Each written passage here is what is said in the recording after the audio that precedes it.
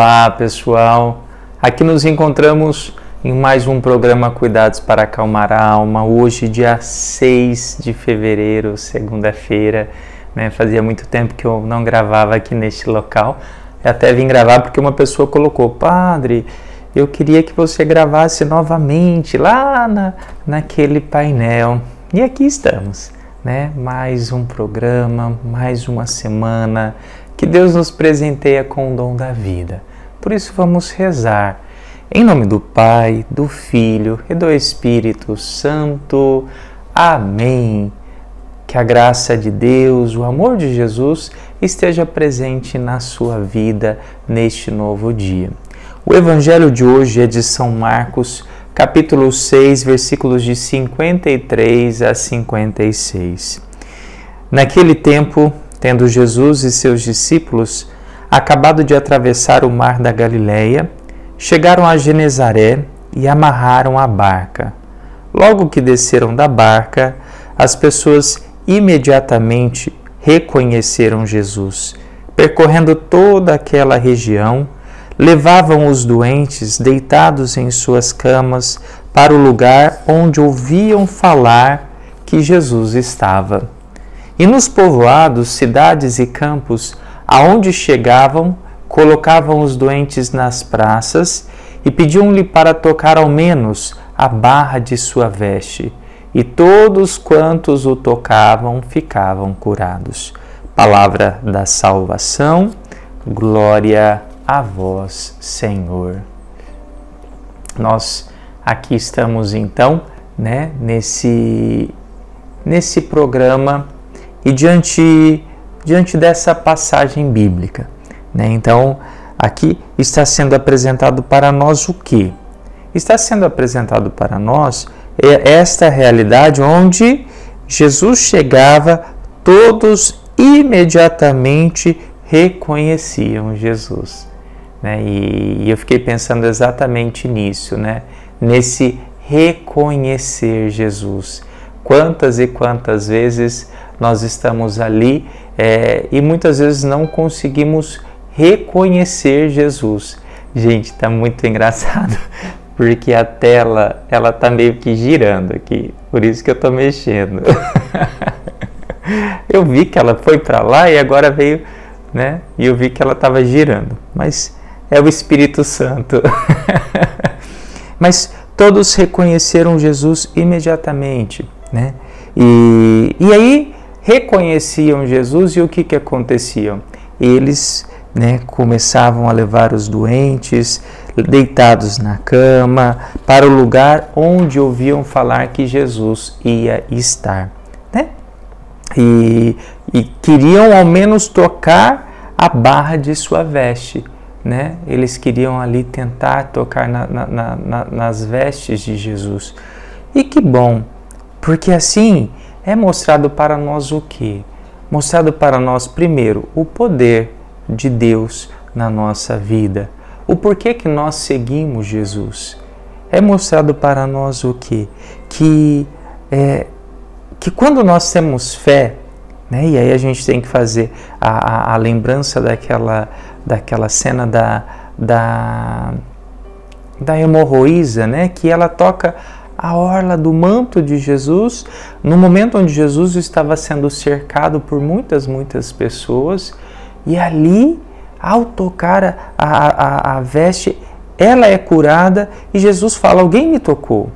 E aí todo mundo fala: Mas Jesus, está todo mundo te tocando, porque é, você está no meio de uma multidão. E ali Jesus falou: Não, mas alguém me tocou diferente.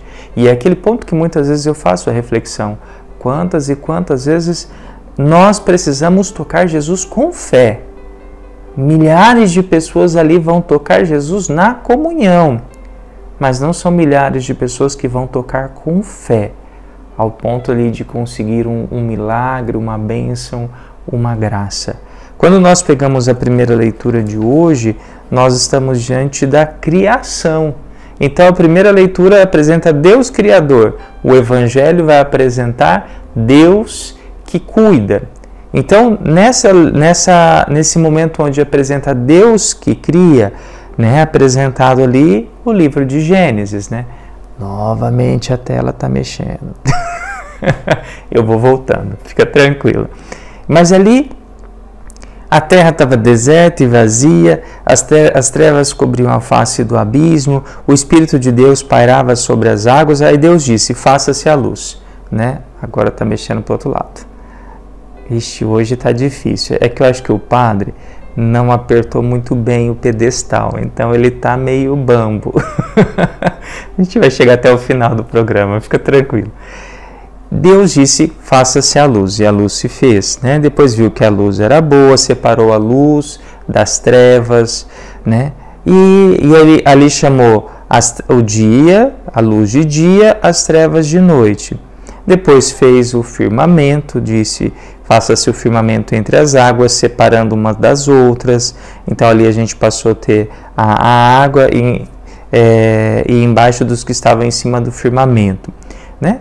E ali houve uma tarde, uma manhã, segundo dia. Então, a primeira leitura, o padre nem vai ler ela inteira porque ela é comum, né? De conhecimento nosso esse, essa leitura, né? Assim, e o que, que nós precisamos ter de entendimento da, da criação? Padre, existe uma, né, um grande problema, né? É, foi assim, foi assado. Quando nós pegamos Gênesis, nós não pegamos a como fala, o relato ips litre, né? Foi exatamente assim que aconteceu, foi exatamente assim que foi feito, foi exatamente assim que se deu a criação do mundo. Não. Mas quando nós pegamos né, a Gênesis, e Gênesis já vem, vem dizer o próprio nome, né, criação, é, é, o, o, princípio. Na verdade, o que, que ele está querendo dizer? Ele está apresentando uma mensagem. Olha, foi Deus que criou. Foi Deus quem criou tudo. Né? Nós, o princípio foi Deus.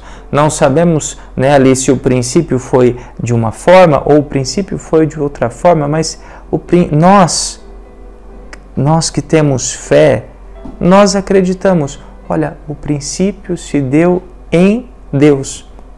E é interessante que os cientistas, quando descobriram ali uma, a partícula que poderia ter sido a partícula que deu, fez o, o, Big Bang lá, que eles estudavam, como que eles chamaram a partícula? Partícula de Deus, né?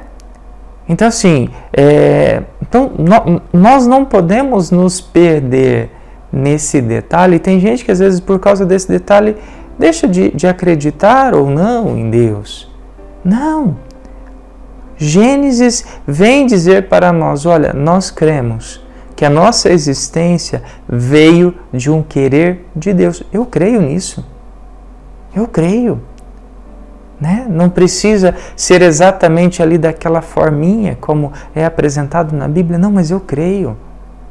Eu creio que existe um Deus né, que nos desejou. Entende? Então a palavra vem exatamente trazer esta, este ponto. E quanto mais eu conseguir enxergar este Deus que criou, sim, não de uma forma que talvez eu tenha ali o conhecimento pleno, talvez a gente só vai ter quando a gente chegar lá no céu. Como ninguém de lá pôde voltar, né? Mas poder ali ter né, a condição de, de, de enxergar para a criação e conseguir identificar o dedo de Deus. Né? E é isso que você precisa, poder enxergar na criação o dedo de Deus. Tá? Então que nós possamos nesta segunda-feira, neste início de semana, clamar esse Deus criador. Fecha teus olhos, se você pode fechar, se você não pode, mas me acompanhe nessa oração.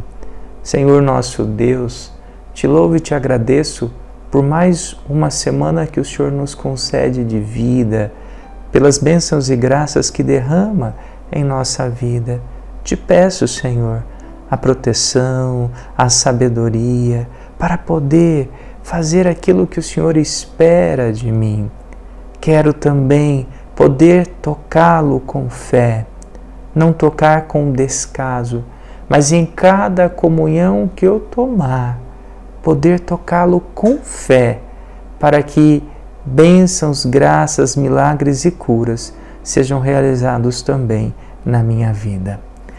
Pai nosso que estais nos céus, santificado seja o vosso nome, venha a nós o vosso reino, seja feita a vossa vontade, assim na terra como no céu. O pão nosso de cada dia nos dai hoje, perdoai as nossas ofensas, assim como nós perdoamos a quem nos tem ofendido, e não nos deixeis cair em tentação, mas livrai-nos do mal. Amém. Que o Deus Todo-Poderoso te abençoe, Pai, Filho, Espírito Santo. Amém.